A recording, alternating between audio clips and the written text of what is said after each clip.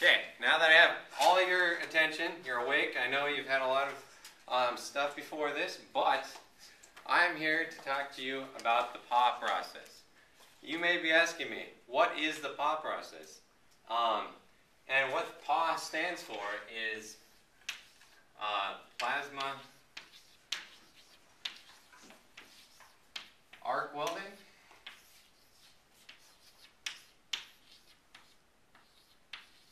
All right? And how many engineers do we have here? I'm guessing since we're at an engineering college, that's most of you. Um, so this is probably going to come up some point in your professional life, depending on if you're, well, it really doesn't matter what kind of engineering. It's probably going to pop up somewhere or another. Or another. Um, so specifically for the uh, PAW process, um, I am going to speak to you about an article from the Journal of uh, Welding and Joining. Um, and the article's name is uh, Stabilization of Plasma Welding Arcs by uh, Low Powered Laser Beams.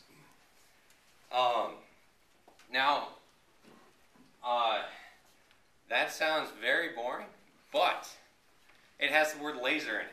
So automatically, it's like 10 times better. Um, now, before I explain how the PAW process is um, changed by adding a laser, um, I must explain the PAW process. Um, the PAW process is uh, produced by joining two metals um, using a constricted arc of ionized gas, which we call plasma, um, producing extreme heat, joining the metals.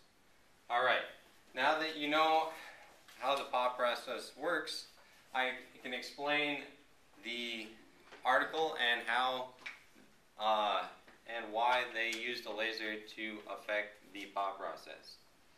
Um, the team in the article put a 100 watt laser in front of the uh, plasma stream, um, hoping that the laser's radiation would affect the plasma stream. Although adding the laser um, did have a significant drop in voltage, the radiation from the laser didn't affect the stream. It just uh, made the metal have uh, let's see, a uh, causing it. The laser caused a evaporation on the metal, um, causing a low ionization, helping with uh, electric conductivity. Um, and you're asking, why is this drop in voltage helpful?